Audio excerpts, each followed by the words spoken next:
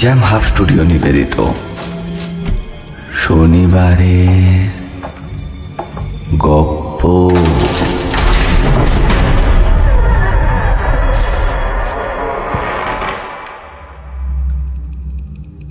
প্রতি শনিবার রহস্য রোমাঞ্চ ভরপুর গল্প দিয়ে সাজানো আমাদের শনিবারের গপ্প শুনতে।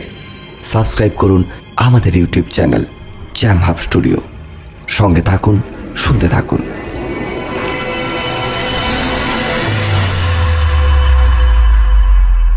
জ্যাম হাব স্টুডিও নিবেদিত শনিবারের গপ্প এই সেগমেন্টে আজ আপনাদের জন্য অনির্বাণ বিশ্বাসের লেখা তিতাস গল্পের দ্বিতীয় পর্ব। গল্পের নির্দেশনা ও সূত্রধরের ভূমিকায় আমি Indra. চরিত্রবিন্যাসে Arfan Ali Khan. Audio editing Ashrukumar Bhattacharya. Sound ও পোস্টার ডিজাইনে কৃষ্ণেন্দু পাত্র। বিভিন্ন চরিত্রে অর্পিতা হাজরা সৌরেন চট্টোপাধ্যায়, আরফান আলী খান, কৃষ্ণেন্দু পাত্র, স্বাগতা চট্টোপাধ্যায়, পৌলমী মাইতি, ফারহিন নাজ, পাপিয়া কান্ডার, এম চন্দন, কৌশিক জানা, অরুণাংশু প্রধান, মোহাম্মদ মুস্তাকিন, শুভ্রজিৎ চক্রবর্তী, অশ্রুকুমার ভট্টাচার্য ও তারা চাঁদ মান্ডি। যারা তিতাস গল্পের প্রথম পর্ব শোনেননি, তারা আই বাটনে ক্লিক করে প্রথম পর্বটি শুনে নিন। শুরু হচ্ছে আজকের গল্প অনির্বাণ বিশ্বাসের লেখা তিতাস গল্পের দ্বিতীয় পর্ব। দ্বিতীয় পর্বের গল্প শুরু করার আগে, প্রথম পর্বে ঠিক কি ঘটেছিল? গল্পের প্রথম পর্বে আপনারা শুনেছেন, জমিদার বাবুর নতুন বাড়ি পুজোর দিনে মায়ের বলির পাঁঠা হাঁড়িকাঠ থেকে পালিয়ে যায়। সেই বিষয় নিয়ে সবাই চিন্তিত হয়ে পড়েন। তারপর কিন্তু বাড়িতে তেমন কিছু ঘটেনি। তবে দিন কয়েক আগে ছোট মেয়ে স্কুল থেকে বাড়ি ফেরার সময় পথে গাড়ি খারাপ হয় এবং সেখানেই দেখা হয় এক তান্ত্রিকের সঙ্গে। বাড়ি ফেরার পর থেকে শরীরটা বেশ খারাপ হতে থাকে তার। রাতে জ্বর আসে আর ভুল বকে। এই সময়ে ডাক্তারবাবু একজন নার্সকে অ্যাপয়েন্ট করেছিলেন, যার নাম রিমি। একদিন সকালে রিমি নামের নার্সটির প্রায় নব্বই শতাংশ ঝলসে যাওয়া দেহ উদ্ধার হয় ছোট মেয়ের ঘর থেকে। সেই বিষয় নিয়ে তদন্ত করতে গিয়ে অনিমেষ বেশ কিছু তথ্য জানতে পারে। বিষয়টিকে আরও পুঙ্খানুপুঙ্খক জানার জন্য জমিদার বাবুর সঙ্গে সে বিষয় নিয়েই কথা হচ্ছিল। সেখানেই পরিবারের ইতিহাসের কথা শোনাচ্ছিলেন জমিদার রতনবাবু। এবার জমিদার বাবু একটু থামলেন। বাবা তুমি এমন ইন্টারেস্টিং জায়গায় থামছো না। বলো না তারপর কি হলো বাবা? বাবা বলো না। আমিও তো মানুষ।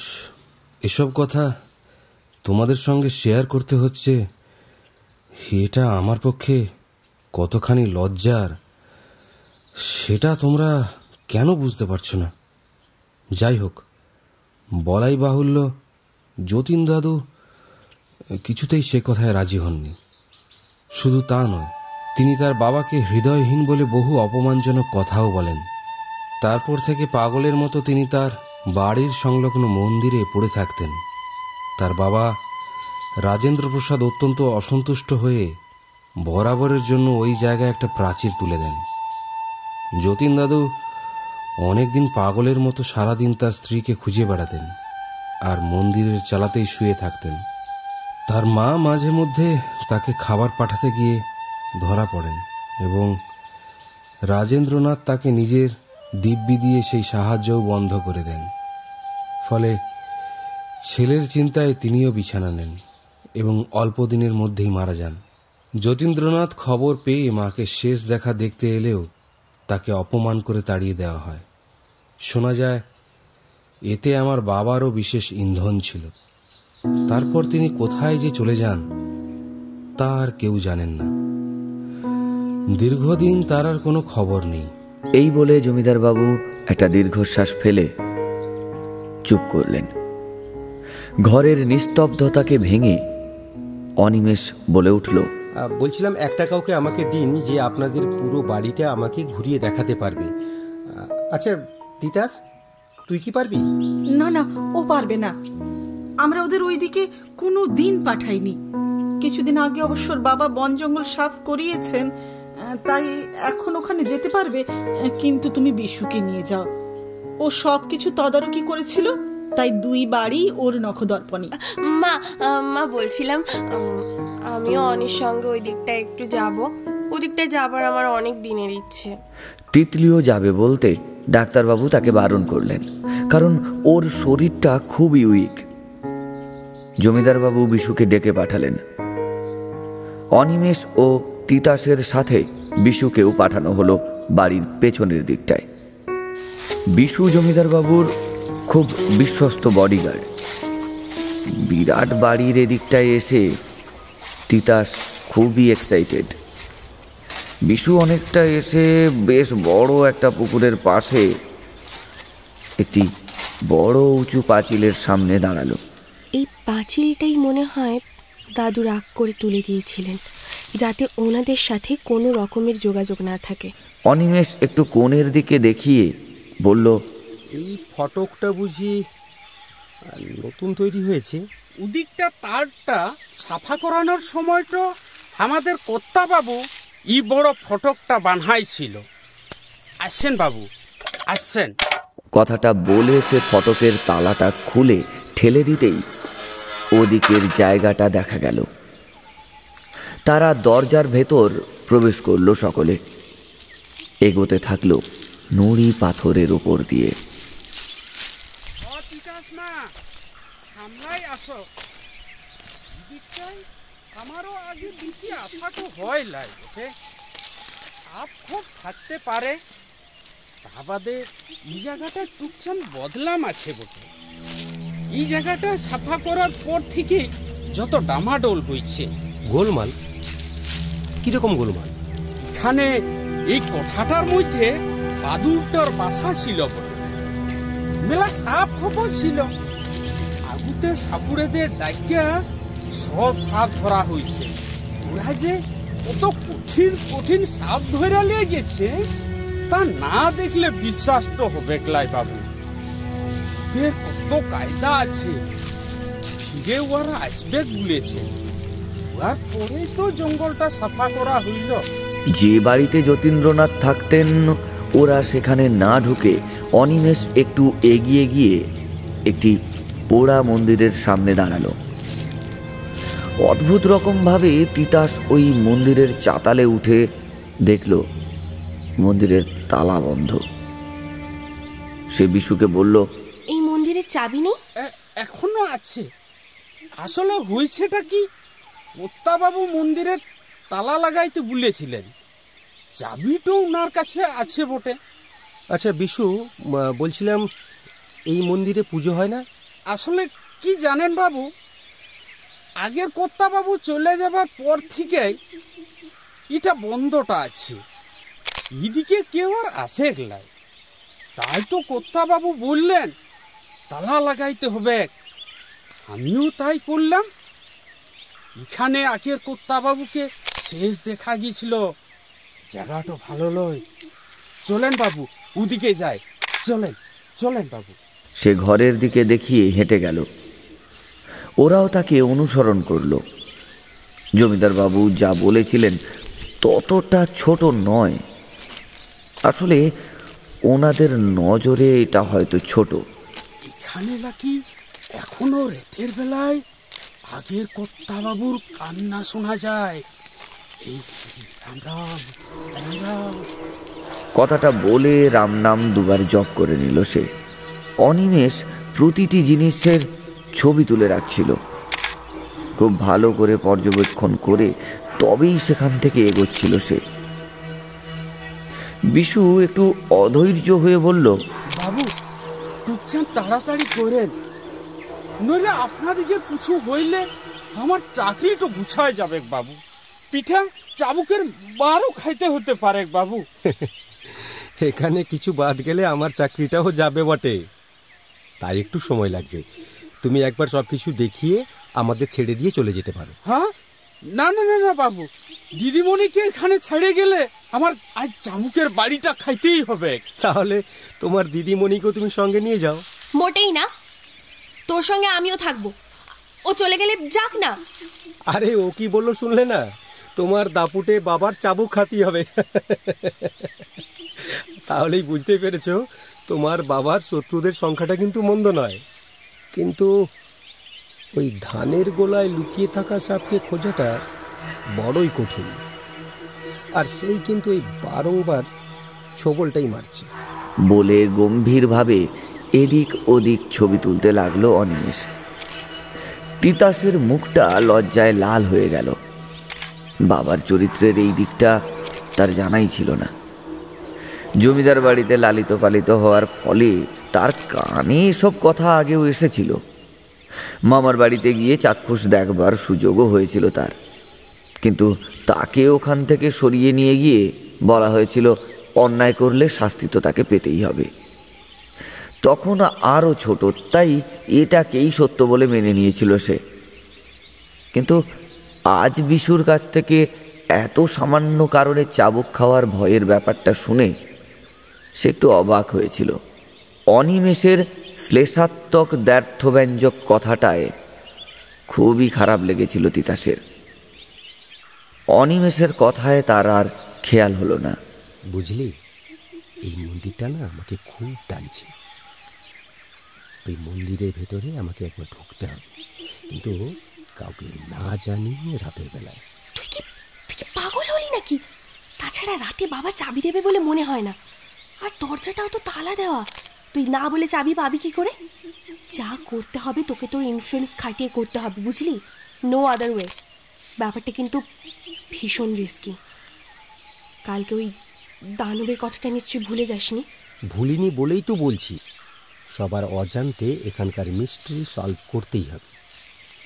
কারণ আমার ধারণা সর্ষের মধ্যেই ভূতটা লুকিয়ে আছে। আর জট ছাড়াতে হলে গিটের অবস্থানটা ভালো করেই দেখা দরকার। ধুর আমার সব মাথার উপর দিয়ে কেমন চলে যাচ্ছে। তুই যাবিস কত? চাবিটা বাবার কাছ থেকে কি করে নিবি শুনি? দিদিমণি টুকচান জলদি করো গো। অনিমেষ হঠাৎ বিশুর পিঠে হাত দিয়ে বলল আমি পুলিশ এটা জানো তো? তুমি এখানকার যা কিছু জানো তা আমাকে আস্তে করে বলে ফেলো। দেখো, তোমার দিদিমণি আমার বন্ধু হয়। আর এই পরিস্থিতিতে কাউকেও কিছুই বলবে না। আমি জানি তোমার খুব চাপের ব্যাপার। তবে এখানে জীবন মরণ সমস্যা। তাই তুমি কিচ্ছু লুকিও না। তুমি মোটা বকশিস পাবে। বলে ফেলো। তিতলি দিদিমণি, আমার বিটির বয়সী বটে। আর ই বাড়ির আমি নুন খাইছি। ইলিয়ে দিদিমণি ভালো থাক, এটা আমি চাই। আমি বকশিস চাইনি বাবু। আপনি যদি পারেন তো আমার দিদিমণিকে আগুর মতো কইরা দেন। আমি ওয়ার দিকে আর ভালতে পারছি নাই। কি সুন্দর হাসি খুশি ফুলের পাড়া, ফুটফুটা বিটিটা ছিল। আর এখন যে কি অবস্থাটা হয়েছে তা তো দেখছেন। এই বলে সে চোখ মুছল।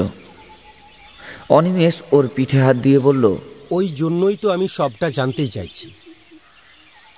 আমি তোমাকে কথা দিচ্ছি আমার পক্ষে যতটা হয় ততটা করব। বাকিটা ঈশ্বরের হাতে। সেদিন তিতলি দিদিমণির ফিরতে কেন দেরি হয়েছিল তা ড্রাইভারের কাছে যতটা শুনেছিল সবটাই বলল বিশু। দিদিমণি সবটা বাড়িতে বলতে বারণ করেছিল। তাছাড়া জমিদার বাবুও যা যা বলেছিলেন সেগুলোও বলল বিশু। অনিমেষ ফোন করে অন্য অফিসারদের ডেকে বাড়িটা টিম ভাগ করে সার্চ করে নিল একবার। সেরকম কিছু পাওয়া গেল না। মন্দিরে সার্চ করতে গেলে তিতাসের মোবাইলে জমিদারবাবুর ফোনটা আসে। তিতাস কি বলবে কিছু বুঝতে না পেরে ফোনটা অনিমেষকে দিয়ে দেয়। অনিমেষ ফোনটা রিসিভ করতেই জমিদারবাবু বললেন, মিস্টার ঘোষ আমাদের পূর্বপুরুষের নিষেধ আছে। ওই মন্দিরে আমরা কেউ ঢুকি না। ঢুকলে নাকি অমঙ্গলের আশঙ্কা আছে। আজ পূর্ণিমা। অন্তত আজকে প্লিজ ঢুকবেন না। এমনিতেই অমঙ্গলের কিছু বাকি নেই। তবুও তিতাসের বাবা হিসেবে আমার এই নির্দেশটা মানলে আমাদের ভালো লাগতো। ওকে ওকে ওকে ওকে। তবে আমি যা করছি আপনাদের ভালোর জন্য। কথাটা শেষ করে ফোনটা কেটে তিতাসের হাতে ফোনটা ধরিয়ে দেয়। এরপর সেই ড্রাইভারকে সবার আড়ালে নিয়ে গিয়ে কিছু জিজ্ঞাসাবাদ করে। সেখান থেকে পুরো ব্যাপারটা বুঝবার চেষ্টা করে অনিমেষ। সেই সাধু বাবার ছবি আঁকানো হয়েছে তিতাসকে দিয়ে। আর তিতাসকে নিয়ে গ্রামটা একটু ঘুরে আসছে বলে গাড়ি করে তারপর সেই ড্রাইভারকে সাথে নিয়ে জায়গাটি দেখতে চলে যায় অনিমেষ। শোন তোর বাড়িতে আমাকে মাঝের ফ্লোরের একটা ঘরে থাকার ব্যবস্থা করে দিবি? ইটস আর্জেন্ট আরে আমার মা তো আগেই তোকে এই কথা বলতে বলেছিল। আমি ভুলে গিয়েছিলাম। কিন্তু তোর এই মাঝের ফ্লোরই লাগবে। কেন বলতো? আরে দরকার আছে। কিছুক্ষণের মধ্যেই গাড়িটি সেই জায়গায় পৌঁছে গেল। যেখানে সেদিন গাড়িটি খারাপ হয়েছিল। গাড়ি থেকে নেমে অনিমেষ ড্রাইভারের উদ্দেশ্যে নানাবিধ প্রশ্ন করতে লাগল। যেমন, ঠিক কোন জায়গাটায় গাড়ি খারাপ হয়েছিল? কোথায় দেখেছিল সাধু বাবাকে? এখানে কোনো কুটির আগে সে দেখেছিল কি না তার একটা কারণ রয়েছে। কারণ অনেকটা দূরে ওই বালির চরে একটি ছোট্ট কুটির দেখা যাচ্ছিল। ড্রাইভার শেষের প্রশ্নটি শুনে মাথা নেড়ে বলল না না আমি এদিকে তেমন আসি না। তবে দু একবার এলেও কোনো কুটির কিন্তু আগে দেখিনি। কথাটা শেষ হতে না হতেই অনিমেষ হঠাৎ দৌড় লাগালো সেই কুটিরের দিকে। তিতাস ও ড্রাইভার ওকে আটকানোর অনেকটা চেষ্টা করেও বিফল হলো। তাই অগত্যা তারাও দুজন অনিমেষের পেছন পেছন ছুটতে লাগল। হাঁপাতে হাঁপাতে ওই কুটিরের সামনে এসে দাঁড়াতেই ভেতরে কারও মন্ত্র উচ্চারণের শব্দ শুনতে পায় অনিমেষ। দাঁড়াল সে। ভেতরে ঢুকবে কি ঢুকবে না একবার ভেবে নিয়ে যেই না ঘরের মধ্যে পা বাড়াতে গেল, অমনি একটা কারেন্ট শক খেয়ে সে ছিটকে পড়ল বাইকে তিতাস এগিয়ে এসে ওকে ধরে তুলল। অনিমেষ মনে মনে বলল হিং হিং দক্ষিণে কালীকে রিং রিং রিং। স্বাহা কথাটা ভেবেই তিতাসের হাতটা ধরে আবারও দৌড় লাগালো গাড়ির দিকে। তারপর গাড়িতে আস্তে আস্তে সে একটাও কথা বলল না।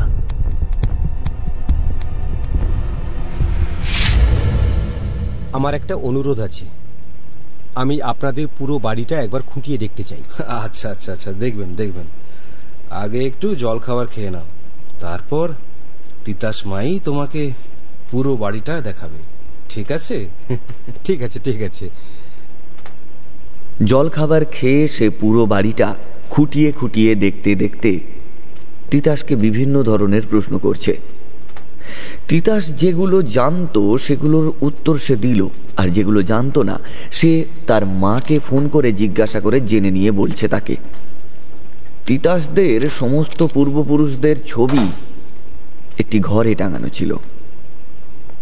কোনটি কার ছবি সব ভালো করে অনিমেষকে সে বলছিল। অনিমেষ তিতাসের কথা শুনতে শুনতে তার ক্যামেরায় পূর্বপুরুষদের ছবিগুলো তুলছিল। উদয় চাটুর্যে ও যতীন্দ্রনাথের ছবির সামনে এসে দাঁড়াল অনিমেষ। আশ্চর্য। বলে মুখে হাত দিয়ে দাঁড়িয়ে রইল কিছুক্ষণ। তিতাস একটু অবাক হয়েই বলল কি এত দেখছিস? চল না আরও অনেক কিছু দেখানোর আছে। ওইদিকে বাগানের মধ্যে প্রচুর সুন্দর সুন্দর মাকড়ানা মার্বেলের মূর্তি আছে জানিস? বাবা একেবারে বিদেশের মাটিতে যেরকম ঘাস থাকে ওই রকম ঘাস এনে লাগিয়েছিল। ওখানে সকালে আমরা সকলে মিলে খালি পায়ে মর্নিং ওয়াক করতাম। অ্যাস্ট্রোটার্ফ তো? এক ধরনের সিনথেটিক ঘাস। জানি কিন্তু আমি তো এখানে বেড়াতে আসিনি ম্যাডাম। আমাকে অনেক পাজল সলভ করতে হবে। তিতাস কথাটা শুনে একটু কষ্ট পেয়েছে। অনিমেষ তিতাসের মুখটা দেখেই সেটা বুঝে ফেলল। আর তখনই সে হেসে বলল চলো চলো, বাগানের ওই দিকটাও যাওয়া হয়নি। চলুন ম্যাডাম, যাই। অনিমেষের মিষ্টি করে হেসে কথা বলাটা শুনেই তিতাস তার হাতটা একটু ক্লোজলি ধরে হাসতে হাসতে এগোতে থাকে। দুজনে বাগানে বেড়াতে বেড়াতে মূর্তিগুলো দেখছে। ঘাসগুলো সত্যিই খুব সুন্দর করে মেনটেন করা। অনিমেষ ও তিতাস দুজনে জুতো খুলে ঘাসের ওপর একটু হাঁটতে লাগল। আকাশে তীরের ফলার মতো উড়তে উড়তে চলে গেল এক ঝাঁক পাখি। শেষ বিকেলে সূর্যের আভা তিতাসের মুখের ওপর পড়ে ভারী সুন্দর লাগছে। অনিমেষের সাময়িক চোখাচোখি হতে একটু লজ্জা পেয়ে একটু গম্ভীর হওয়ার চেষ্টা করতে তিতাসের টোল খাওয়া, রক্তিম আভাযুক্ত গালে ও ঠোঁটে মৃদু লাজুক হাসি খেলে গেল। অনিমেষ হাতটা ছাড়াতে গেলে তিতাস সেটাকে জোর করে আরও ঘনিষ্ঠভাবে নিজের সঙ্গে জড়িয়ে রাখতে চায়। অনিমেষের সারা শরীরে যেন শিহরণ খেলে যায়। তিতাস আবেশে চোখ বন্ধ করে নিয়েছে। দুজনের মুখে কোনো ভাষা নেই। শুধু তারা দুজনে হেঁটে চলল সেই সবুজ ঘাসের ওপর দিয়ে। একটু দূরে গিন্নিমা একজন দাসীকে সঙ্গে নিয়ে সান্ধ্যকালীন ভ্রমণে বেরিয়েছিলেন। আর ঠিক তখনই গাছের আড়াল থেকে এই দুই নব কপত কপতিকে দেখে ফেললেন তিনি। দাসী যাতে দেখতে না পায়, সে কারণে অন্য দিক দিয়ে ঘরের দিকে যেতে বললেন তাকে। তার মুখে একটা হালকা হাসির ঝলক ফুটে উঠল। দুজনে হাঁটতে হাঁটতে হঠাৎ একটা বড় গাছের আড়ালে একটি মূর্তি দেখতে পায়। আর সেটা দেখেই তিতাস চমকে উঠল। অনিমেষ একটু অবাক হয়ে তাকালে তিতাস হাত নির্দেশ করে সেই মূর্তিটার দিকে দেখাল। অনিমেষও মূর্তিটিকে দেখে চমকে উঠল। স্ট্রেঞ্জ এটা তো কালকের সেই দানবের যেন ডুপ্লিকেট কপি। এ কি? এ- এটা এ তো এটা তো দেখতে একদম জীবন্ত লাগছে। কিন্তু কিন্তু এই মূর্তিটা এখানে এলো কি করে? না না, আমার আমার যতদূর মনে পড়ছে, এটা তো আগে এখানে ছিল না। নিশ্চয়ই বাবা আমার এখান থেকে যাবার পর আনিয়েছে। চল, বাবাকে বলে আজই এক্ষুনি এক্ষুনি এই মূর্তিটাকে এখান থেকে বিদায় করি। এক্ষুনি বাবাকে বলতে হবে। চল, তাড়াতাড়ি চল। কথাটা বলেই সে ঘরের দিকে ছুটে গেল। অনিমেষ সেদিকে না গিয়ে মূর্তিটিকে ভালো করে অবজার্ভ করতে লাগল। কিছুক্ষণের মধ্যেই জমিদারবাবু বিশু ও নায়েব মশাই আরও জনা তিনেক লোকজন বেশ হাট্টা কাট্টা চেহারা আর সঙ্গে দুজন পুলিশ অফিসার সেই জায়গায় এসে হাজির হলেন।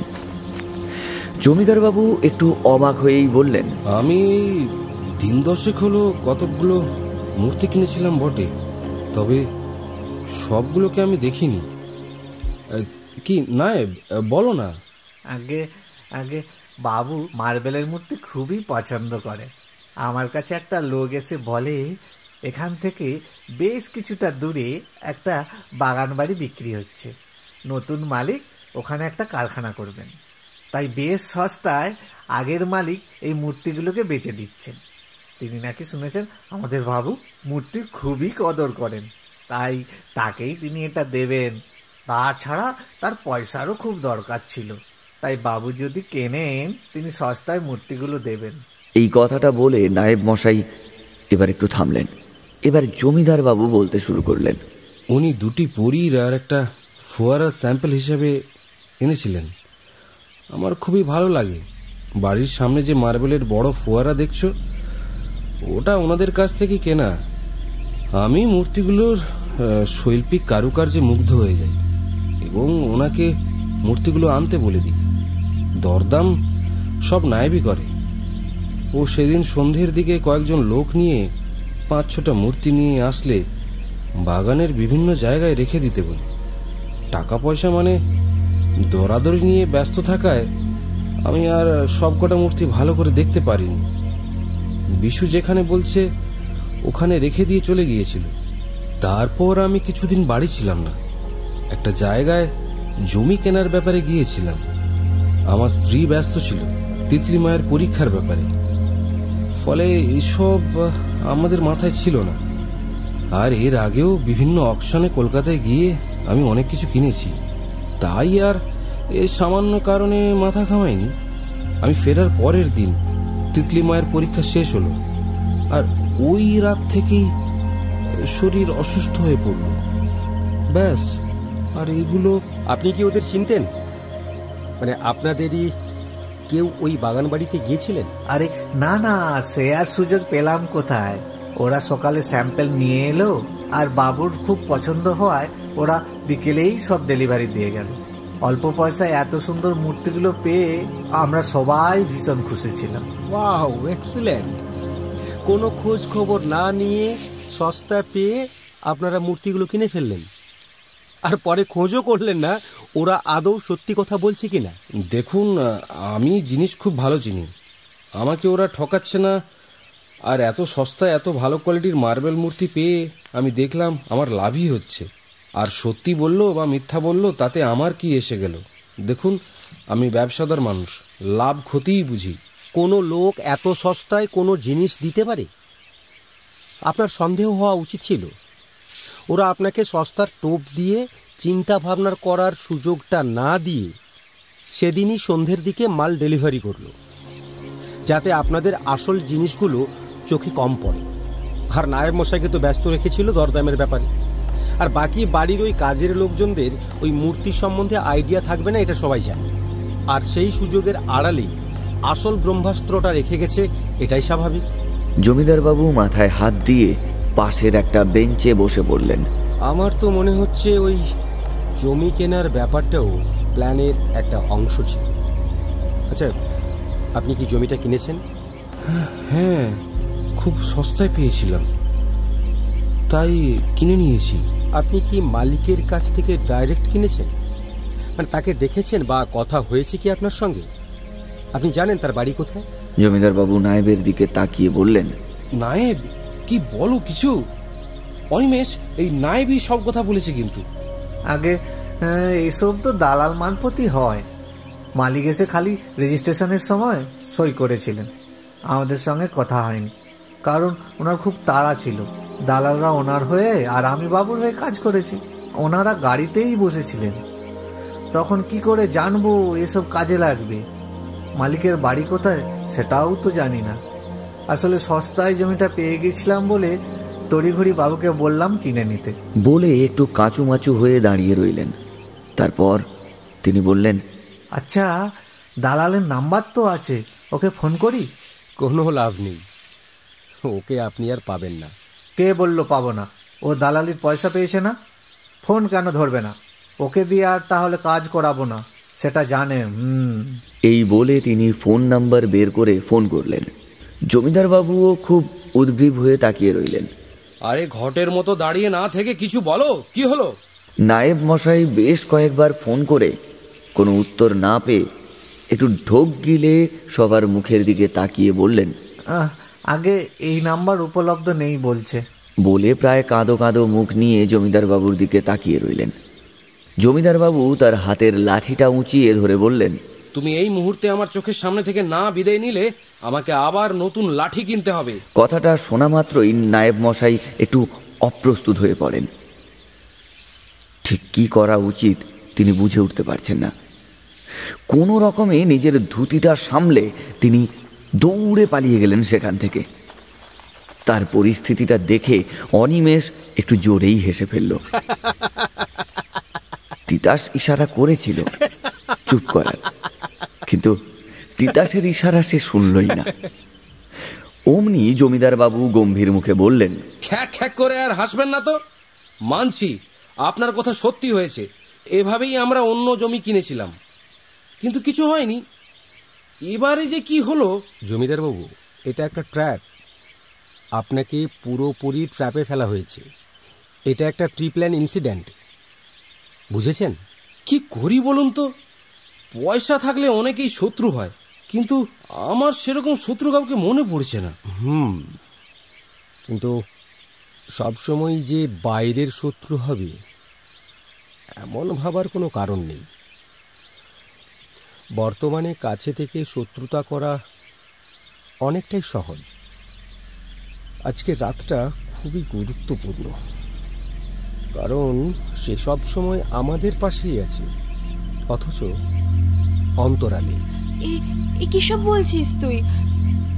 আমার আমার মাথায় তো কিছু ঢুকছে না। জমিদার মশাই কিছুই বুঝতে পারছিলেন না। স্বাভাবিক বিষয়টি বোঝাটাও এতটা সহজ ছিল না। অনিমেষ বোধ হয় ব্যাপারটা ধরে ফেলেছে। অপরাধীর খুব কাছাকাছি পৌঁছে গেছে সে।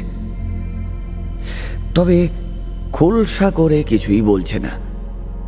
আর ঠিক তার পরেই যা ঘটল,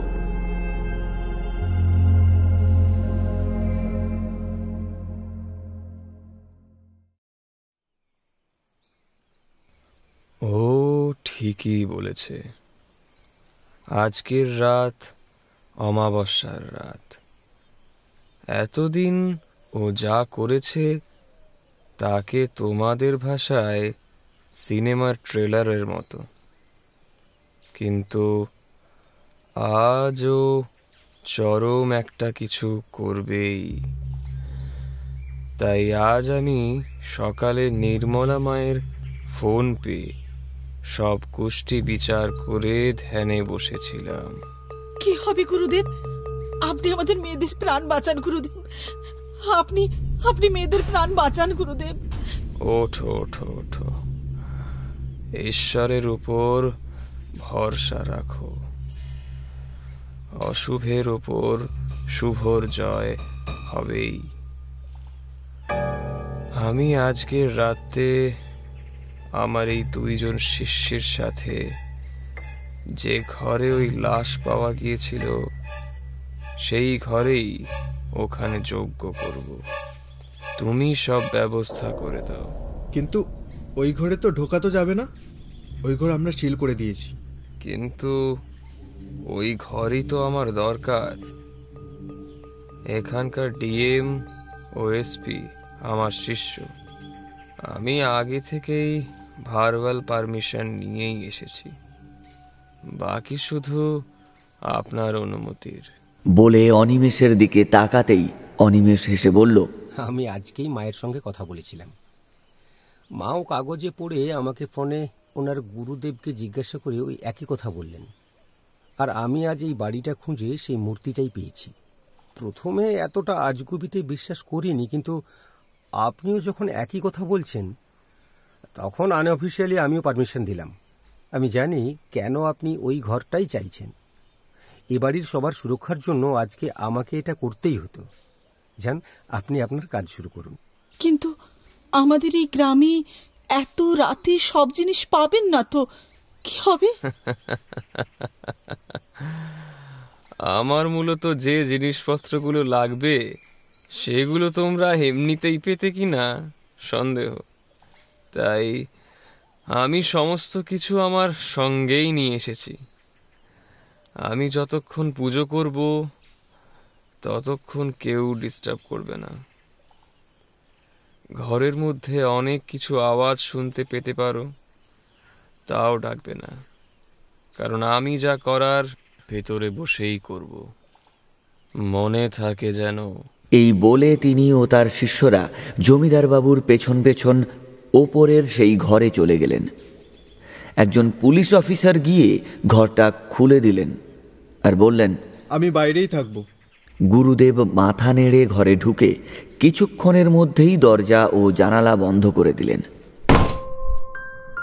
অনিমেষ ওপর মহলের সঙ্গে একবার কথা বলে নিয়েছে। কলকাতায় ও ত্রিপুরায় রাজনৈতিক চাপানোত্তরের মাঝে এই প্রত্যন্ত গ্রামের এই ঘটনাটা মিডিয়ার কাছে সত্যিই ফিকে পড়ে গিয়েছিল। তাই রক্ষে না হলে বিপদ হতো। বাড়ির সবাই সেদিন তাড়াতাড়ি খাওয়া দাওয়া সেরে ফেলেছে। অনিমেষও গেস্ট হিসেবে ওনাদের সঙ্গেই খেতে বসেছিল। আজকে রাতের আতঙ্কের পারদের মাত্রা ক্রমশ চড়িয়ে দিচ্ছিল খাবার টেবিলের নিস্তব্ধতা। খাওয়া দাওয়া শেষ করার পর জমিদার বাবু অনিমেষকে জিজ্ঞাসা করলেন আচ্ছা আজ রাতে কে কোথায় শোবে? আজ দুই মেয়ে ও কাকিমা আপনারা সবাই একসঙ্গে শোবেন। আর হ্যাঁ ওই দরজা ভেজানো থাকলেও ওটা কিন্তু খোলা রাখবেন। দরজার বাইরে ও জানালার নিচে তিনজন সশস্ত্র পুলিশ পাহারায় আছে। পুরো বাড়িটাতেই পুলিশ পোস্টিং আছে। দুটো টাটা সুমোতে তিনজন পুলিশ বাইরে পাহারায় আছে। খালি দুটো ড্রোনের অভাব থেকে গেল। আচ্ছা ঠিক আছে। ওকে, আমি আর মিস্টার সোম অল্টারনেটিভলি ভাবেই সারা বাড়িটাতে ওঠানামা করব। আর আপনারা আর দেরি করবেন না। আমাদের উপর ভরসা রেখে আপনারা নিশ্চিন্তে শুয়ে পড়ুন। এই বলে সে বাইরে অফিসারদের নির্দেশ দিতে চলে গেল। বাকিরা সবাই অনিমেষের কথা মতো শুয়ে পড়ল। অনিমেষ ও মিস্টার সোম নিজেদের মধ্যে আলাপ আলোচনা করে নিল।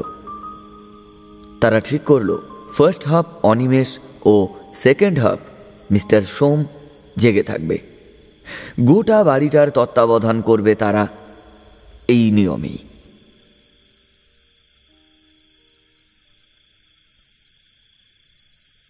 কিছুক্ষণের মধ্যে সারা বাড়ি একেবারে নিস্তব্ধ হয়ে গেল। আর তার মাঝেই মৃদু স্বরে সংস্কৃত উচ্চারণের আওয়াজ শোনা গেল। রাত যত বাড়তে লাগল, ততই নির্মলা দেবীর চিন্তায় প্রাণবায়ু যেন বেরিয়ে যাওয়ার জোগাড়। তিনি দুহাতে মেয়েদের জড়িয়ে ধরে শুয়ে আছেন। তিতাসও ঘুমিয়ে পড়েছে। জমিদার বাবুর নাসিকা গর্জনের আওয়াজ শোনা যাচ্ছে এখন। ঘরের বাইরে দরজার সামনে পুলিশ দুজন বেঞ্চে বসে বসে ঢুলছিল। ঘরের মূল দরজার বাইরের পুলিশ অফিসার ও কনস্টেবলদের একই অবস্থা। মিস্টার সোম কিছুক্ষণ জেগে তারপর ওপরে গিয়ে পায়চারি করে তিনি তিনতলার বারান্দায় একটি জায়গা দেখে বসে পড়লেন। বসে বসে ঝিমোতে লাগলেন আর মনে মনে ভাবলেন এই দুর্ভেদ্য পাহারা ভেদ করে কারোরই আজকে আসা সম্ভব নয়। একটু করিয়েই নি। অনিমেষ বিছানায় শুয়ে উসখুস করছে। কারণ সে অনুমান করেছে সবাই ঘুমিয়ে পড়লেও পাঁচজনের চোখে ঘুম নেই। নির্মলা দেবী অনিমেষ আর অজ্ঞাত সেই তিনজন। বা তার কিছু বেশিও হতে পারে। তার ক্যালকুলেশন কখনোই ভুল হয় না। আজও ভুল হবে না। সে আসবে। নিশ্চয়ই আসবে। সে প্রতিরোধ করবে। আসতেই হবে তাকে। এখন প্রশ্ন, সে কটা প্রাণ ছিনিয়ে নিয়ে যাবে? আর তাকে আটকাতে গেলে কতটা বলিদান দিতে হবে। এখন শুধু সময়ের অপেক্ষা। কখন সে জাগবে, সেই সময়ের। হঠাৎই তার মনে পড়ে গেল বাগানের সেই মূর্তিটার কথা। কেউ একেই জাগ্রত করে তুলছে না তো। কেউ তো আছে এখানে, যে বা যারা জাগ্রত করে তুলতে সাহায্য করছে। সেই দৈত্যকে। তাকেই চিনতে হবে। হয়তো সে খুব কাছাকাছি আছে, শুধু চোখের ভ্রমের জন্য হয়তো তাকে চিনতেই পারছে না এরা কেউ। এমনকি অনিমেষও। এখন কাজ তাকেই চিনে ফেলা। কেন তার মনের খুব কাছে এসেও সে তাকে ফাঁকি দিয়ে চলে যাচ্ছে? দুই গুরুদেবী বলেছেন, তাকে না থামাতে পারলে চলবে ভয়ঙ্কর হত্যালীলা।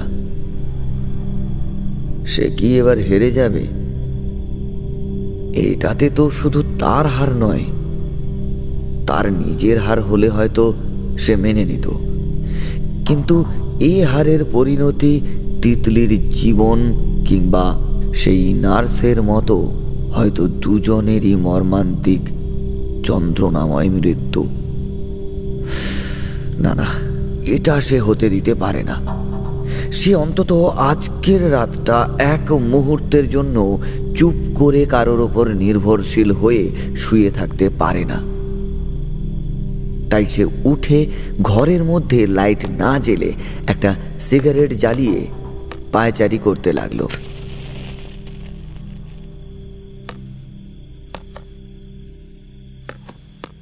ঘরের মধ্যে পায়চারি করতে করতে জানালার কাছে এসে দাঁড়াল। খুব দূরে একটা ক্ষীণ আলো দেখা যাচ্ছে। এই দিকটা দিয়ে বাড়ির পেছনটা দেখা যায়। ওই আলোটা ক্রমশ আবছা হলেও বাড়ির পেছন দিকেই যেন এগিয়ে যাচ্ছে। সে মনে মনে ভাবল, ওই দিকটাতেই তো সেই মূর্তিটা আছে। আর বাড়ির পেছনের দিক মানে আজকের সকালে যে দিকটায় সে গিয়েছিল সেদিকটাই তাহলে কি, না, আর ভাবার মতো সময় নেই। নিঃশব্দে তাকে সেদিকেই যেতে হবে। সে দেরি না করে দুটো জায়গায় ফোন করে নিল। খুব ধীর কণ্ঠস্বরে। হাতে রিভলভারটা নিয়ে গামবুট পরে সে নিচে নেমে এলো। তারপর সে ভাবল, সে ওই দিকের পথটা ঠিক জানে না। তাহলে কি করবে? বেশি লোককেও আবার এই বিষয়ে ইনভলভ করা যাবে না। সেই বাগানের সেই গাছের কাছে এসে একেবারে হতবাক হয়ে গেল। কারণ সে যেটা মনে মনে ভেবেছিল, ঠিক তাই ঘটেছে। অর্থাৎ মূর্তিটা ওখান থেকে উধাও। আলোটা এখান থেকে কিছুটা পরিষ্কার দেখা যাচ্ছে। সেটা সেই পাঁচিলের ওপারে গিয়ে অনেকটা এগিয়ে গেছে। তবে এখান থেকে বোঝা যাচ্ছে ওটা একটা নয়, দু তিনটে আলোর শিখা। সে কি একা ওখানে যাবে? কিন্তু তার কাছে তো চাবি নেই। তাহলে এত বড় পাঁচিলটা সে অতিক্রম করবেই বা কি করে? তবে এত ভাবার সময় নেই। আগে তো ওখানে যাওয়া যাক, তারপর গাছে চড়ে বা অন্য কোনো পদ্ধতিতে তাকে এই পাঁচিলটা পার করতেই হবে। সে ঈশ্বরের নাম স্মরণ করে এগিয়ে যেতে লাগল। গাছগাছালির মধ্য থেকে হেঁটে যাচ্ছে সে। হঠাৎ তার পেছনে একটা পায়ের শব্দ শুনতে পেল। আচমকাই হাতের রিভলভারটা তাক করে সে পেছন ফিরল। ঘুরে তো সে অবাক। আরে বিশুজি তুমি এখানে কি করে এলে? আমি মনে মনে তোমার কথাই ভাবছিলাম।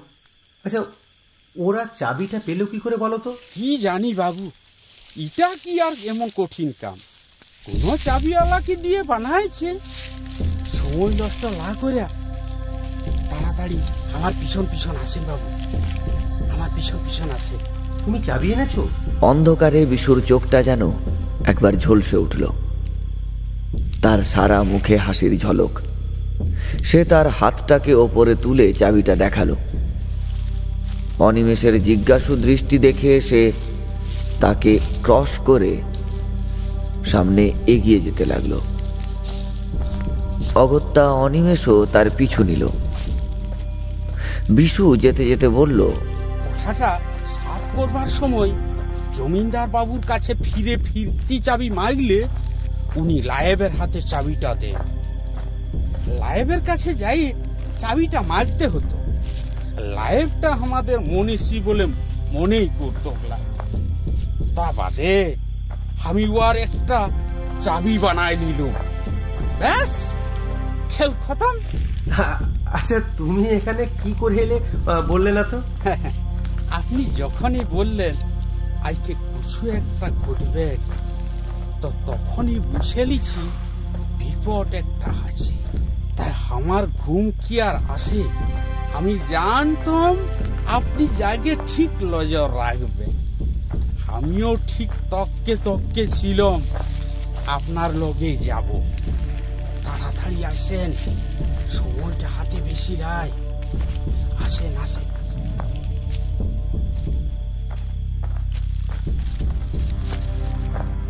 অনিমেষ আর বিশু দরজার তালাটা খুলে ভেতরে গেল।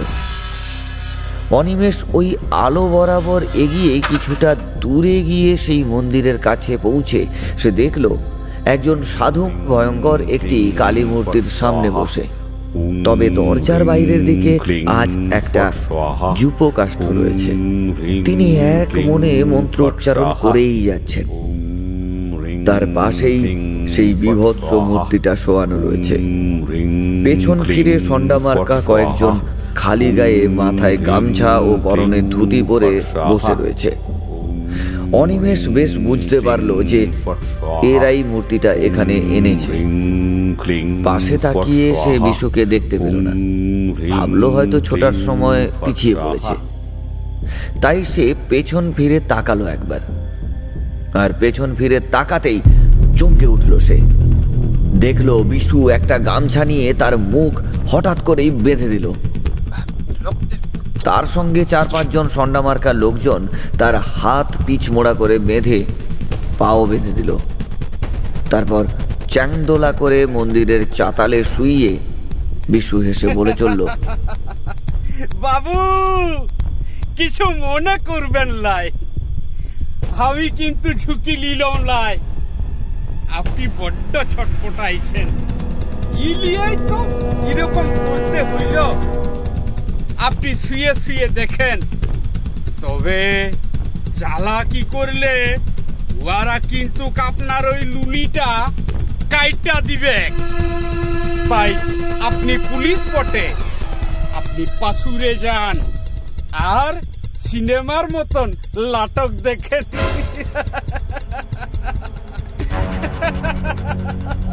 সিনেমার মতন নাটক দেখে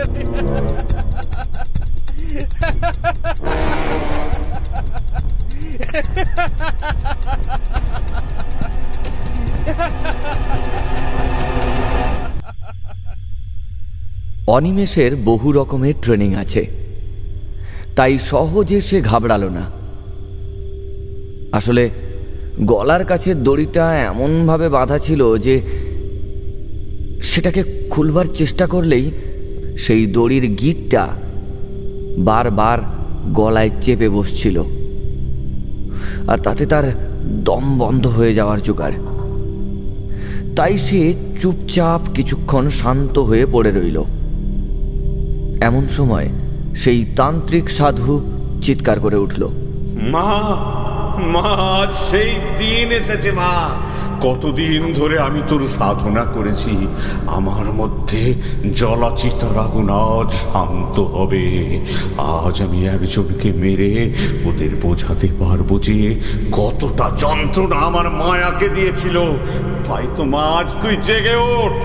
তোর বলি প্রস্তুত। তুই তা গ্রহণ করে আমার মায়াকে বাঁচিয়ে তোল, আমার মায়াকে বাঁচিয়ে তোল। আমি জানি আমি জানি, এই মন্দিরেই তাকে ওরা রেখেছে, এই মন্দিরেই রেখেছে। ওম হ্রিং ঋতম ফট কাষ্টমুন্ডন পিসাচ রূপে জাগন্ত ট্রিক ফট। ওম স্বাহা। বলতে বলতে একটি জবা ফুল নিয়ে মনে মনে বিড়বিড় করতে করতে সেই মূর্তির মাথা থেকে পা পর্যন্ত বোলাতে লাগল ফুলটাকে বারবার। হঠাৎ দুম করেই একটা বোম ফাটার মতো আওয়াজ হলো। তারপর চারিদিক এক্কেবারে অন্ধকার। ধোঁয়ায় ধোঁয়াময় হয়ে গেল গোটা ঘরটা। ধোঁয়াটা একটু কাটলে দপ করে জ্বলে উঠল মূর্তির দুটো চোখ। তারপর সেই মূর্তিটা ধীরে ধীরে উঠে বসে সেই তান্ত্রিক সাধুকে প্রণাম করে বজ্রগম্ভীর কণ্ঠে বলে উঠল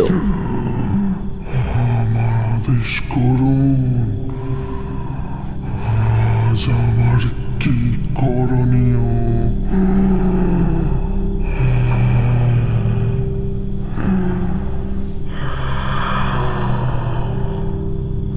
আজ তোকে তিতলিকে তুলে আনতে হবে। আজ ওকে মায়ের কাছে উৎসর্গ করব। যা তাড়াতাড়ি ওকে সাবধানে নিয়ে আয়। শিবানী মন্ত্র জপ করে ওদের ঘুম পাড়িয়ে তবে নিয়ে আসবি। যা এখনই যা। মুহূর্তের মধ্যেই হাওয়ার গতিতে সেই মূর্তিটা উবে গেল সেখান থেকে। বিশু অনিমেষকে দেখিয়ে সাধু বাবার কানে কানে কি সব বলল। সাধু বাবা আবার মাতৃ সাধনা করতে করতে বললেন, মা, বলে দে মা, মায়াকে কোথায় রেখেছে? আজ ওকে আবার প্রাণ ফিরিয়ে দেব। হ্যাঁ আমার এতদিনের অপেক্ষা ও সাধনা পূর্ণ কর, মা। পূর্ণ কর পূর্ণ কর। ওম রিং রিতম ফট। কাষ্ঠমুণ্ডন পিসাচ রূপী জগন্ত হিং ফট স্বাহা হিং ফট স্বাহা।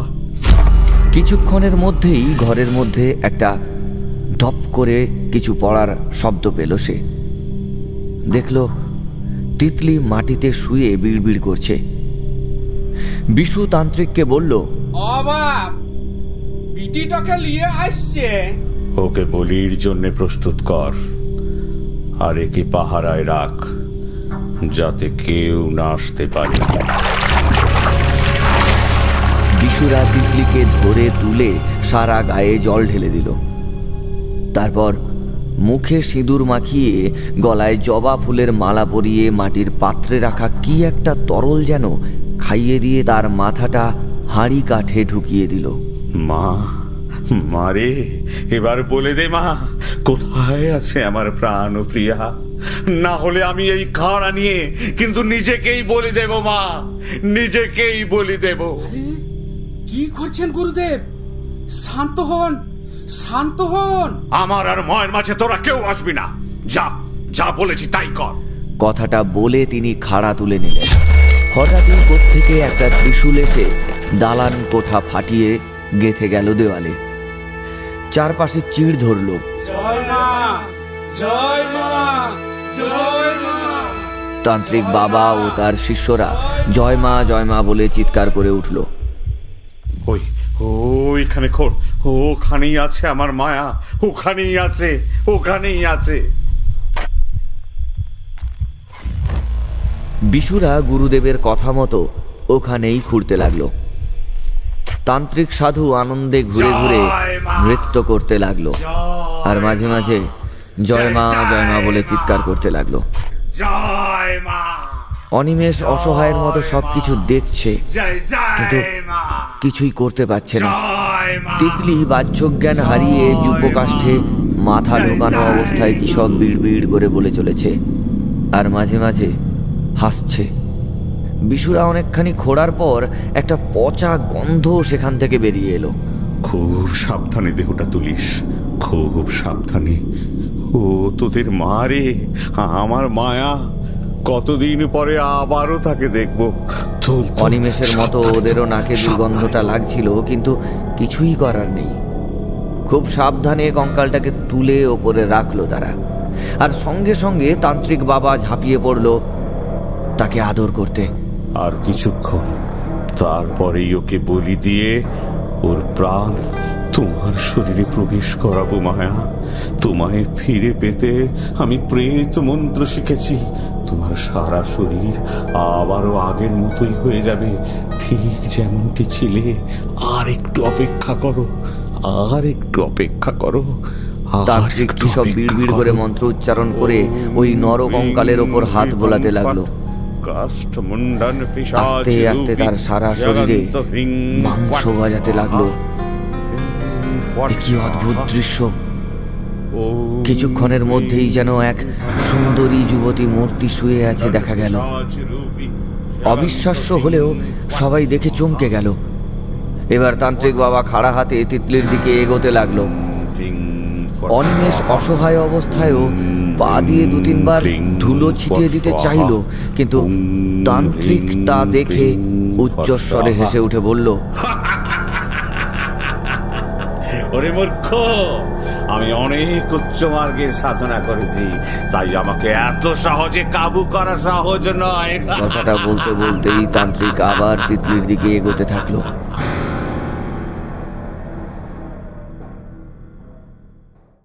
এর পরের ঘটনাটা শুরুতেই বলেছিলাম। এবার আসুন, জমিদার বাবুর বাড়িতে ঠিক কি অবস্থা সেটা দেখা যাক।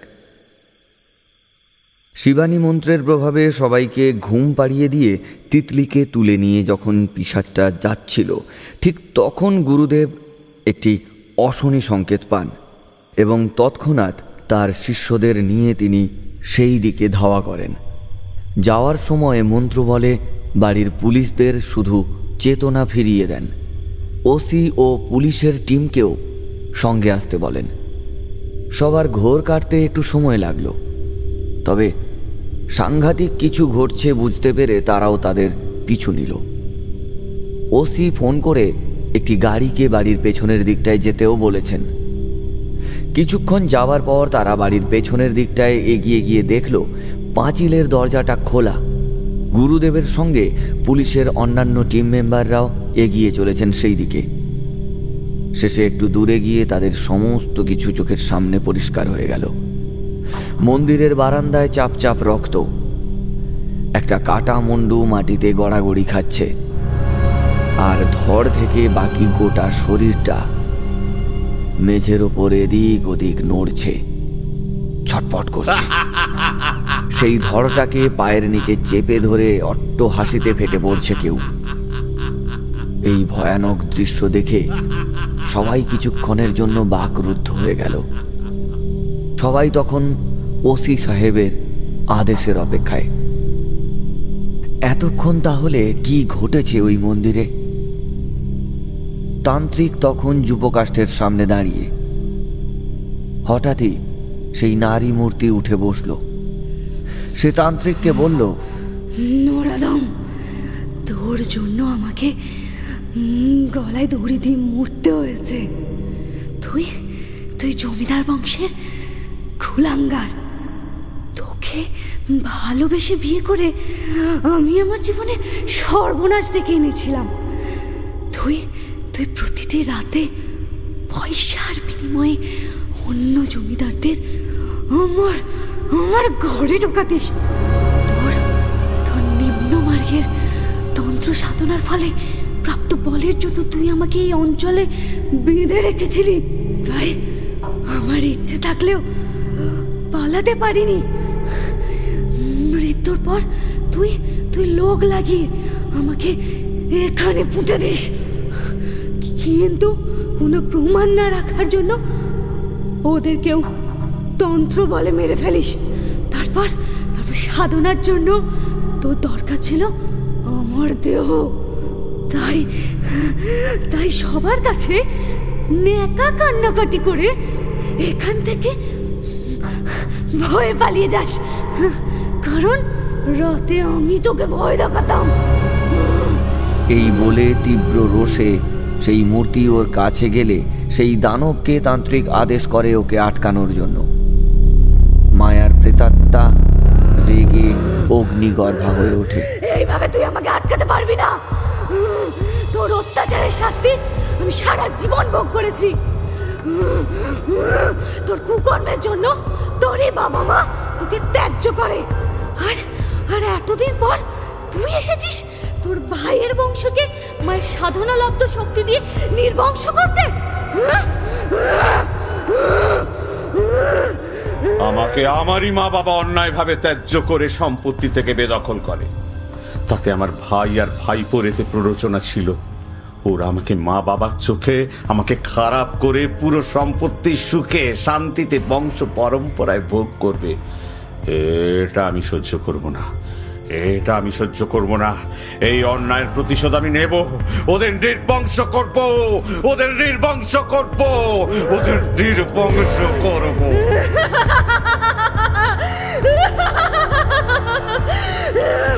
ওরে দুশ্চরিত্র!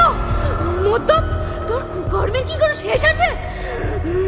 তুই তুই তোর বাড়ির কাজের মেয়েদের থেকে পাড়া সুন্দরী কোনো গৃহবধূদের বাগান বাড়িতে তুলে নিয়ে গিয়ে ভোগ করে মেরে নদীতে ভাসিয়ে দিতিস। তোর মা বলেছিলেন, আমার পেট থেকে পশুর জন্ম হয়েছে। ওরকম স্বভাব জমিদার বাড়ির ছেলেদের থেকেই থাকে। তোকে কোথা থেকে তুলে এনেছিলাম, মনে আছে? তোর বংশের কোনো পরিচয় ছিল? শুধু তোকে ভোগ করব বলে মায়ের পছন্দ করা মেয়েকে মেনে নিয়েছিলাম। যদি সম্পত্তি পাওয়া যায়। কিন্তু যখন দেখলাম এই ব্যাঙের আধুলি দিল, তখন ভাবলাম, তোকে নিয়ে ব্যবসা করে সম্পত্তি বাড়াই। বিয়ে তো তোর বাপের পণ দেবার তো ক্ষমতাই ছিল না। তাই তোকে দিয়ে যা কামিয়েছি, সেটাকেই পণ হিসেবে ধরে নে না। তা তুই মরে আমার মোটা টাকার ব্যবসা সর্বনাশ করে দিলি রে, সর্বনাশ করে দিলি। জানি তো, জানি, তাই তোর পাঠানো? লোকজন আসার আগেই আমি গলায় ধরে দিয়েছিলাম। তোর লোকেরা দেখে ভোরকে গিয়ে তোকে মিথ্যে খবর দিয়েছিল। তুই তাদেরকেও বিশ্বাস করতে পারলি না। খাবারের সঙ্গে বিষ খাইয়ে মেরে দিলি। ওরা ওরা কিছুটা আন্দাজ করেছিল বলেই তোকে তোকে আসল জায়গা বলেনি। তুই তুই কাউকে বিশ্বাস করিস না। কাউকে না কাউকে না। তুই তুই আসল রাক্ষস। তোর বাবাই সব জেনে তোকে মারতে না পাঠালে। তুই তো তোর বাবাকেও মেরে ফেলতিস। তোর পাপের গড়া ফুরিয়েছে। তাই তাই আজ তোর শাস্তি হবে। মহাশাস্তি মহাশাস্তি। তোর দেবী আজ তোকে রক্ষা করবেন না। রক্ষা করবেন না আজ তোকে। আজ তোকে আমি শেষ করব। আমি। আর যে আসছে, আর যে আসছে, তুই তাকে আটকাবি কি করে? হ্যাঁ? হ্যাঁ? সে যে সে যে মাতৃ আশীর্বাদ ধর না। তোর সময় আজ শেষ। সময় আজ শেষ তোর। আজকেই তোর মৃত্যু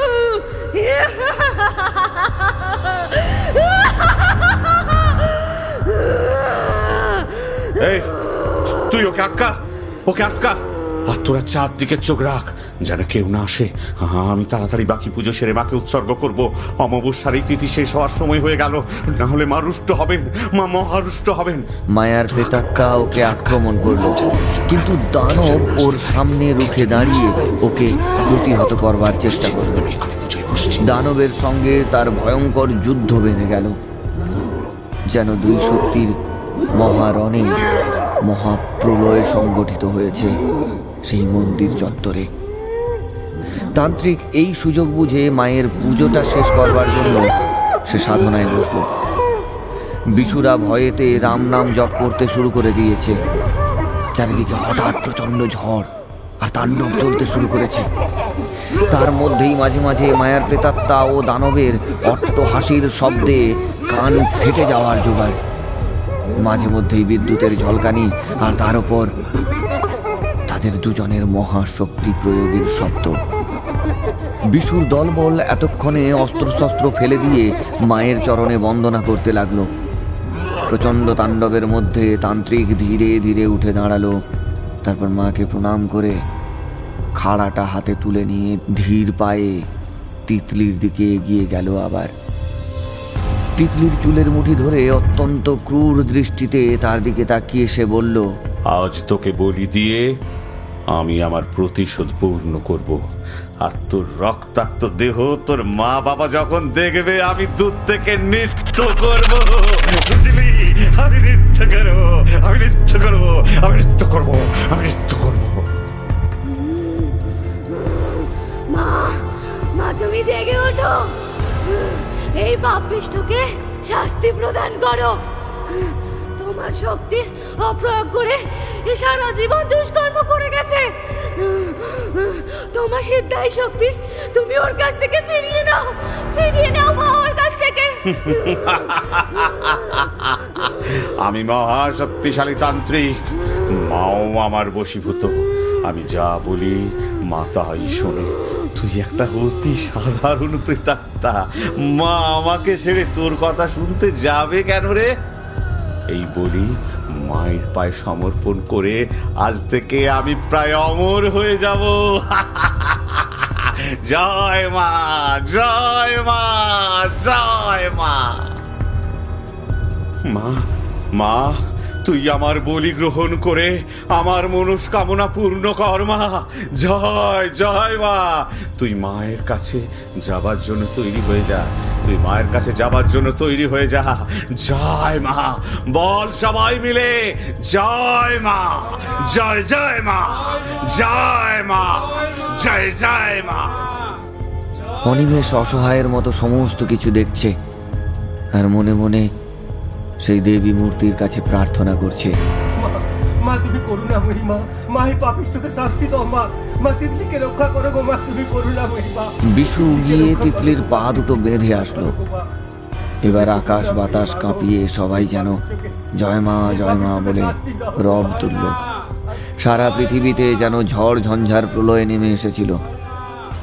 মায়ার প্রেতাত্মা বারবার তিতলিকে বাঁচাতে চাইলেও সেই দানবটা তাকে প্রতিহত করছে বারবার। অনিমেষ আর দেখতে পারছিল না।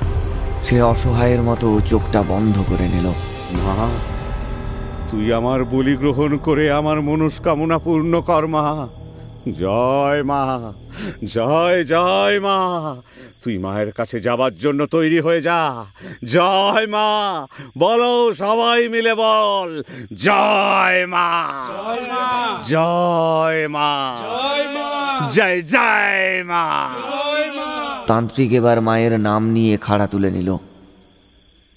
জয় মা, জয় করাল বদনী মা বলে চিৎকার করে খাড়াটাকে শূন্যের দিকে তুলল সে। একই সাথে সুর মেলালো বাকিরাও। অনিমেষের চোখ বন্ধ।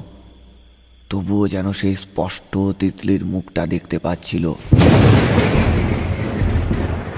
হঠাৎই খুব কাছে একটা কান ফাটানো শব্দে বাজ পড়ল। আর সেই শব্দে বাকি সমস্ত কিছুর শব্দ চাপা পড়ে গেল। অনিমেষের বারবার মনে হচ্ছিল সে এই জায়গায় উপস্থিত থাকা সত্ত্বেও তার কিচ্ছু করার নেই।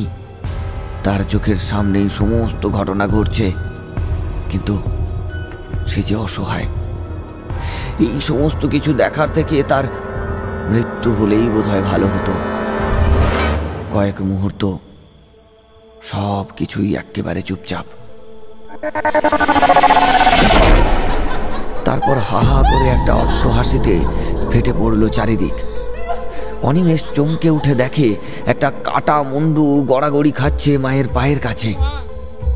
আর বিশু সহ সবাই, মাগো রক্ষে করো বলে মায়ের পায়ের কাছে লুটিয়ে পড়েছে।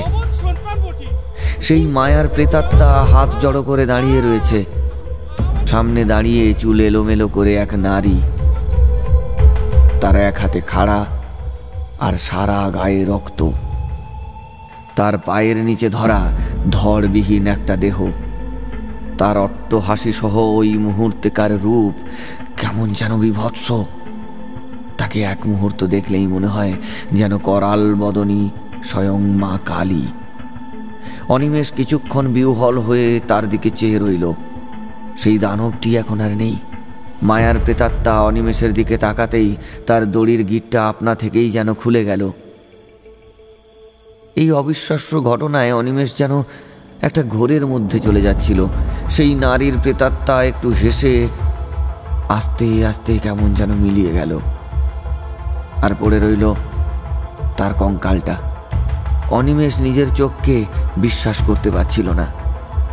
এত শক্তিধর তান্ত্রিককে মারল কে? কে এই ভীষণা নারী অনিমেষ সেই মূর্তির কাছে গিয়ে তার চরণে নমিত করে বলল মা মা আপনি যেই হন মা আপনার চরণে প্রণাম জানাই মা চরণে প্রণাম জানাই। আপনি এবার শান্ত হন মা এবার শান্ত হন এবার শান্ত হন মা। এবার শান্ত হন মা এবার শান্ত তার সাথে বিশুরাও অস্ত্র শস্ত্র ত্যাগ করে তার চরণে বসে পড়ল হাত জোড় করে। মা মা আমাদের ক্ষমা করে দেন মা। আমাদের ক্ষমা করে দেন। আমরা অবোধ সন্তান বটি। ভুল করে ফেলছি মা। মা মা আমাদের ক্ষমা করে দেন মা। এই অবস্থাটাই ওসি ও অন্যান্য পুলিশরা দূর থেকে অবজার্ভ করছিল। দূর থেকে মাইকের অ্যানাউন্সমেন্ট করল তারা। কেউ অনিমেষ চমকে উঠে দাঁড়িয়ে দেখে, চারিদিক থেকে পুলিশ ঘিরে ফেলেছে। হঠাৎই সেই নারী মূর্তির হাতের খাড়া মেঝেতে পড়ে ঝনঝনিয়ে শব্দ করে উঠল। আর তারপরেই নারী মূর্তিটিও ঢলে পড়ল মেঝের দিকে। অনিমেষ তাকে কোনো রকমে ধরে ফেলে। তারপর তাকে আস্তে আস্তে নিজের কোলের ওপর মাথা রেখে শোয়ায়। ততক্ষণে অন্যান্য অফিসাররাও সেখানে পৌঁছে গেছেন। ধীরে ধীরে তার মুখের উপর থেকে চুলগুলো সরিয়ে জলের ছিটে দিতেই চোখ মুখের ওপর থেকে রক্তের দাগগুলো পরিষ্কার হলো। আর যে মুখটা তারা তখন দেখতে পেল, তা দেখে তারা সবাই স্তম্ভিত। আরে, এ তো অবিশ্বাস্য ঘটনা। এ কি করে সম্ভব হলো? এই অবস্থায় চারিদিক থেকে পুলিশ এসে ঘিরে ফেলেছে। বিশুর দলবল তারা নিজেরা সারেন্ডার করেছে। বিশু সেই জায়গায় দাঁড়িয়ে থেকে সেই মুখ দেখে বলে ওঠে বড় দিদিমণি সবাই চমকে উঠে ওকে ঘিরে ধরে দেখছিল। কয়েকজনের সহযোগিতায় তাকে জমিদার বাড়িতে নিয়ে যাওয়া হয়। ডাক্তারবাবুকে ফোন করে রাতের বেলায় ডেকে পাঠানো হলো। তিনি এসে প্রাথমিক চিকিৎসা করে কয়েকটা ইঞ্জেকশন আর কিছু ঔষধ দিয়ে গেলেন। ডাক্তারবাবু অভয় দিয়ে বললেন she is now out of danger কাল সকালে একেবারে ফিট হয়ে যাবে। তিতলিমাকে একটু স্টোমাক ওয়াশ করতে হবে মনে হচ্ছে। তবে বিপদ কিছু নেই। তিতলিকেও নিয়ে আসা হয়েছিল তবে তাকে লোকাল হাসপাতালে ভর্তি করা হয়েছে। তার চেতনা ফিরলেও অপ্রকৃতিস্থ লাগছে তাকে। জমিদারবাবু সব শুনে অবাক হয়ে গেলেন। জমিদারবাবু গুরুদেবকে জিজ্ঞাসা করলেন এতদিনে যতীন্দ্রনাথের বেঁচে থাকাটাই অস্বাভাবিক। এত নিকৃষ্ট যে আমার কোনো পূর্বপুরুষ হতে পারেন? আমার ভাবলে ঘেন্না লাগছে। অনিমেষ ও অসিবাবুকে অনুরোধ, অন্তত মায়া ঠাকুমার দেহের সৎকার যেন আমি করতে পারি। উনি মৃত্যুর পরেও আমাদের জন্য যা করেছেন, তা অভাবনীয়। আপনারা যতটা সম্ভব আইনি ব্যাপারটা দেখবেন। আর গুরুদেব, তিতাসমা এরকম কাজ কীভাবে করল আমি বুঝতে পারছি না। ওসিবাবু, আমার মেয়ের কি হবে? প্রথমে আমি বলি, তিতাস যা করেছে, সেটা পুরোটা বলা যাবে না। ওটা আমি ওসি সাহেবের সঙ্গে কথা বলে ডিসাইড করব। জমিদার বাড়িতে অনেক লাশই গুম হয়। আপনি যদি বিশু আর ওর ফ্যামিলির দায়িত্ব নেন, তাহলে ওরা আমাদের শেখানো কথা মতো কথাগুলোই কিন্তু কোর্টে বলবে। এরপর যা বলার গুরুদেব বলবেন। শোনো, তোমরা শোবার পর আমি যোগ বলে জানতে পেরেছিলাম যে আজ ভয়ঙ্কর কিছু একটা ঘটবেই যেটা আমার শত প্রচেষ্টা সত্ত্বেও আমি আটকাতে পারব না। কারণ তোমাদের বংশেরই কারোর হাতে ওর মৃত্যু লেখা ছিল, যেটা আমি ও আমার প্রয়াত পিতা তোমাদের গুরুদেব হওয়ার কারণেই আগে থেকে জানতাম। আমি এখানে আসার আগে সেগুলো ভালো করে বিচার করে এসেছিলাম। সুতরাং আমি নিরুপায় হয়ে আমার সিদ্ধাই ক্ষমতা প্রয়োগ করে তিতাস মাকে বশীভূত করে আগে আমার কাছে টেনে আনি ও তার মধ্যে আমার মায়ের শক্তি প্রদান করি। তারপর আমাকে সেই চরম সিদ্ধান্ত নিতেই হয়। আমি মাকে তার কাছে প্রেরণ করি। বুঝলে রতন এছাড়া আমার আর কোনো উপায় ছিল না। আপনি যা ভালো মনে করেছেন সেটাই আমরা চিরকাল মেনে এসেছি। এতে আপনি এত দ্বিধা করছেন কেন? একটা মেয়ে এই ঘর থেকে বেরিয়ে অন্য ঘরে চলে গেল আর তোমরা কি ঘুমাচ্ছিলে? আরে এটা তো তান্ত্রিক করতে পারতো। তাহলে কি হতো? অফিসার একটু আমতা আমতা করে কিছু বলতে যাচ্ছিলেন কিন্তু তার আগেই গুরুদেব বললেন আরে ওদেরও তো বকো না ওদের কোনো দোষ নেই। আমি যোগ বলে ওদের ঘুম পাড়িয়ে দিয়েছিলাম। বুঝলে রতন এরও বেশ জমিদারি তেজ আছে কিন্তু। তা থাক ওসব কথা পরে হবে। বলে জমিদার গিন্নির সঙ্গে চোখাচোখি হতেই একটু হেসে মাথা নেড়ে কিছু একটা ইঙ্গিত দিয়ে আবার বলতে শুরু করলেন। ওই মন্দিরের মা অত্যন্ত জাগ্রত এবং তিনি তিতাস মায়ের মধ্যে জাগ্রত হয়ে কাজ করেছেন। তুমি ওই মন্দির শুদ্ধ করে দাও। আমি মাকে পুজো করে আবার নতুন করে প্রতিষ্ঠা করব। তিতাস মায়ের মধ্যে দেবীর প্রকাশ হয়েছিল। তাই ওকে তো লাগবেই।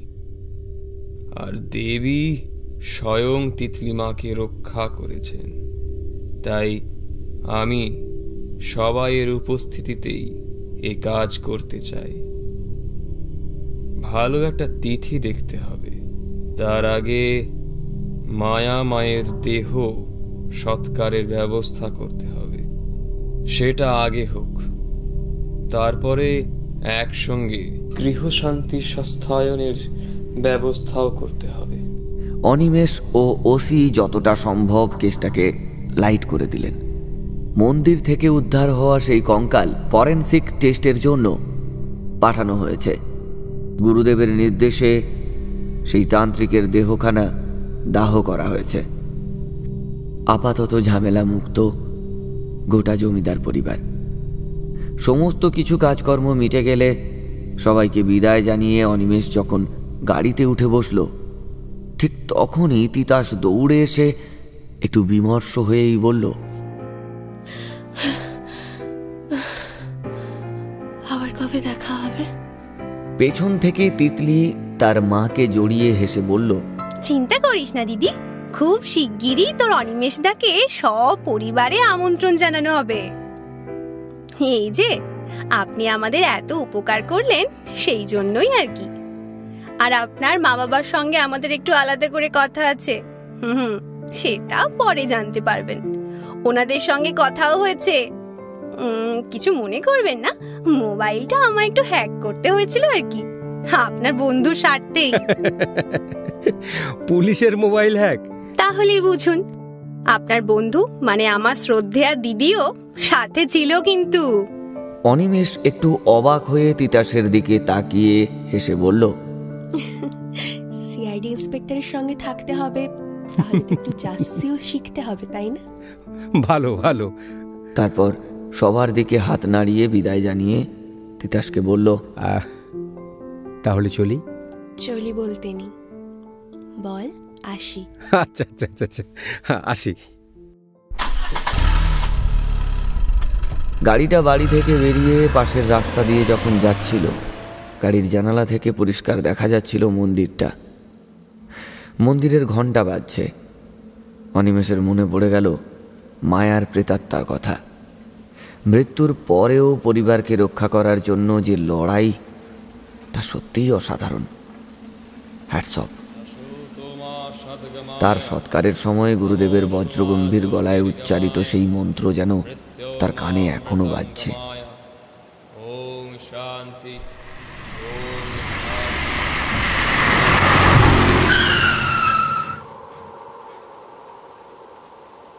হঠাৎই একটা ঝাঁকুনি দিয়ে গাড়িটা থেমে গেল। অনিমেষ একটা ঘোরের মধ্যে চলে গিয়েছিল। গাড়িটা থামতে একটু বিরক্ত হয়ে ড্রাইভারকে জিজ্ঞাসা করল আরে কি হলো? আরে এই ফাঁকা রাস্তায় গাড়িটার আবার কি হলো? উফ দেখো দেখো দেখো। তাড়াতাড়ি পৌঁছতে গিয়ে শর্টকাট নিতে গেলাম। আর কি যে বিপদ হলো? সে গোটা গাড়িটা ভালো করে চেক করে বলল কিছু বুঝতে পারছি না স্যার। কি যে হলো? এই রাস্তায় গাড়ি একটু কম যাতায়াত করে। আমি বরং একটু সামনের দিকে এগিয়ে দেখছি যদি কিছু পাওয়া যায়। হ্যাঁ দেখো, একটু এগিয়ে আশেপাশে যদি কোনো গ্রাম থাকে, ওখানে দেখো। সেখানে মেকানিক পেলে ভালো। আর না হলে কি যে করব? যাও যাও, তুমি দেখো। ড্রাইভার একটু এগোতেই অনিমেষ মোবাইলটা বের করে ভাবলো একবার তিতাসদের বাড়িতে ফোন করবে। কিন্তু কপাল খারাপ। মোবাইল ফোনটাতে নেটওয়ার্কই নেই। অনিমেষ মোবাইলটা একবার বন্ধ করে আবার অন করল। হুম এখনও নেটওয়ার্ক আসছে না। কি বাবু? গাড়ি খারাপ হয়ে গেছে বুঝি? আমি ঠিক করে দিতে পারি? হঠাৎ সে চমকে উঠল, জানালার পেছন থেকে আওয়াজ পেয়ে। ভয়ে ভয়ে জানালার দিকে তাকিয়ে যা দেখল, তা দেখে তার শির দাঁড়া দিয়ে যেন একটা ঠান্ডা স্রোত বয়ে যাচ্ছে। দেখল, সেই তান্ত্রিকের মতো একজন হাসছে। তার চোখের মণিগুলো সাদা অনিমেষ ভয়ে চিৎকার করে উঠল। সে দরজা খুলে বেরোনোর চেষ্টা করল, কিন্তু কোনোভাবেই দরজা খুলল না। আর সেই তান্ত্রিকের হাত দুটো জানালার কাঁচ ভেদ করে তার গলার দিকে যেন এগিয়ে আসছে। সে চিৎকার করে ড্রাইভারকে ডাকছে, কিন্তু সে অনেকটা দূরে চলে যাওয়ার জন্য কিছুই শুনতে পেল না। ভয়ে থরথর করে কাঁপছে অনিমেষ। হঠাৎই একটা ঝাঁকুনি হলো, আর ড্রাইভার চিৎকার করে উঠল। যাক কুকুরের বাচ্চাটাকে বাঁচাতে পারলাম। সরি স্যার আপনার ঘুমটা ভেঙে গেল। অনিমেষ চমকে উঠে দেখল, ড্রাইভার লজ্জিত হয়ে হাসছে। তাহলে কি সে এতক্ষণ দুঃস্বপ্ন দেখছিল? তার বুকটা এখন ধুকপুক করছে। গাড়িতে এসি চলছিল। কিন্তু তার মধ্যেও তার গোটা শরীর ভিজে আছে ঘামে। সেই ইশারায় ড্রাইভারকে গাড়িটা এগিয়ে নিয়ে যেতে বলল। তারপর তার মাকে ফোন করতে গিয়ে দেখল, মোবাইলের নেটওয়ার্ক নেই। কি আর করবে? মুঠোফোনটা পকেটে রেখে দিল সে। তারপর হঠাৎ ফোনটা তার বেজে উঠল। স্ক্রিনে ভেসে উঠল আননোন নাম্বার। সে একটু অবাক হলো। একবার ভাবলো ফোনটা কি কেটে দেবে নাকি ধরে বলবে? দোনোমোনা করে সে ফোনটা ধরল। হ্যালো? হ্যালো? হ্যালো? কে বলছেন? মোবাইলের ওপার থেকে ফ্যাস ফ্যাসে গলায় ভেসে এলো আমাকে বারবার আটকানো যাবে না আমি এই বাড়িতে আবারও জন্ম নিয়ে আমার প্রতিশোধ চরিতার্থ করব বলে অট্ট হাসি হাসতে থাকল। অনিমেষ এখন নিজের হৃৎস্পন্দন পরিষ্কার বুঝতে পারছে। তার হাত পা থরথর করে কাঁপছে। আর তার হাত থেকে কখন মুঠোফোনটা পড়ে গেছে, সে নিজেও খেয়াল করেনি। সেখান থেকে বারবার ভেসে আসছে সেই অট্ট হাসির শব্দ।